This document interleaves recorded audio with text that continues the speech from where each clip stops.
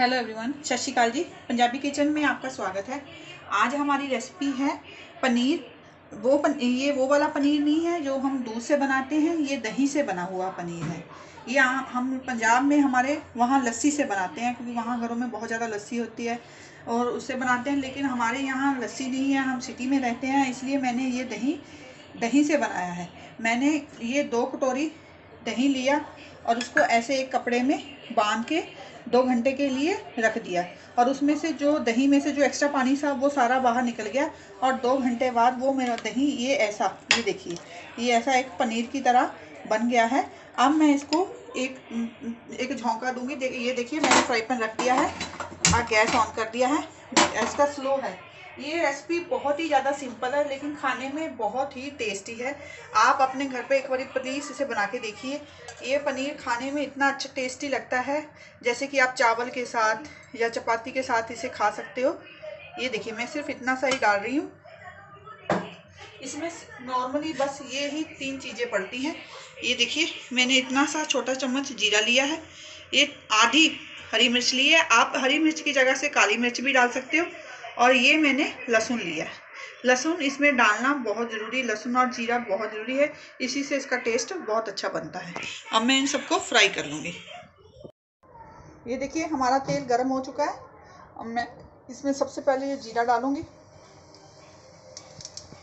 ये लहसुन हो और ये हरी मिर्च। ये तीनों ही डालनी है। इसमें कोई प्याज वगैरह कुछ भी नहीं डालना आपको। इसमें सिर्फ़ इन तीनों चीज़ों का ही टेस्ट होना चाहिए। ये लीजिए और मैं इसको धीमी आँच पे। बिल्कुल स्लो गैस पे फ्राई करूँगी ये लीजिए, ये हमारा लहसुन, मिर्ची और जीरा फ्राई हो रहा है। हमें ऐसे ही इसको होने देना है जब तक ये लहसुन हल्का ब्राउन नहीं हो जाता। ये पनीर है, ये खाने में बहुत ज़्यादा टेस्टी लगता है। हमारे पंजाब में तो ये बहुत ज़्यादा फ़ेमस फ़ेमस है। हम गर्मी गर्मी इसको बनाते रहते हैं। लेकिन आप भी एक बार ज़रूर इसे ट्राई करके देखिए। आपको इसका टेस्ट इतना अच्छा लगेगा कि आप डेली डेली इसको बनाओगे। ये देखिए, ये हमारा फ्राई हो चुका है। अब मैं गैस का फ्लेम ऑफ़ कर दूँगी। अब मैं ये इसे इस दही में डाल दूँगी।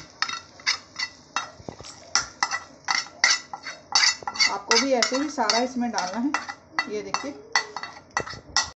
आप अब मैं इसमें ये आधा चम्मच नमक डाल रही हूँ। आप ब्लैक सॉल्ट भी डाल सकते हो। ये आपकी इच्छा है, आपको जैसा अच्छा लगता है, और इसमें कुछ भी नहीं डालना। अगर अभी ये देखिए, आपको लग रहा होगा कि ये बहुत ज़्यादा गाढ़ा है। अब मैं इसमें थोड़ा थोड़ा पानी ऐड कर करके इसको थोड़ा सा पतला बनाऊँगी। ज़्यादा नहीं जिस हिसाब से हम खाते हैं, जैसे दही खाते हैं, उसी हिसाब से ज़्यादा पतला नहीं करना। अभी मैं इसको थोड़ा थोड़ा ऐड करके, आपको इसमें थोड़ा थोड़ा पानी ही ऐड करना और कुछ भी ऐड नहीं करना। ये लीजिए, हमारा पनीर रेडी है। ये देखिए, ऐसा ही होना चाहिए। आपका भी, मैंने ये वाली आधी कटोरी इसमें पानी डल गई लेकिन थोड़ा थोड़ा डालना है। ये नहीं कि एक ही बारे में आप डाल दिया आपको थोड़ा थोड़ा डाल के ऐसे हिलाते रहना है। और ये देखिए, ऐसा पनीर चाहिए आपको। और इसके, ये पनीर हमारा बन के रेडी है। अब हम इसके ऊपर, ये थोड़ा सा हरा धनिया, ये देखिए। ये हरा धनिया डालने से इसका टेस्ट और ज़्यादा बहुत अच्छा बन जाता है।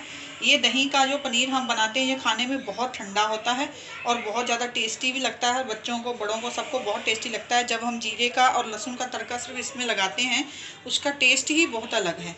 गर्मी गर्मी में आप आप भी अपने घर में इसको बनाइए और खाने को इन्जॉय कीजिए। अगर आपको मेरी ये आज पनीर की रेसिपी दही से बने पनीर की रेसिपी पसंद आई हो तो प्लीज़ मेरे चैनल पंजाबी किचन को सब्सक्राइब कीजिए एंड लाइक एंड शेयर कीजिए।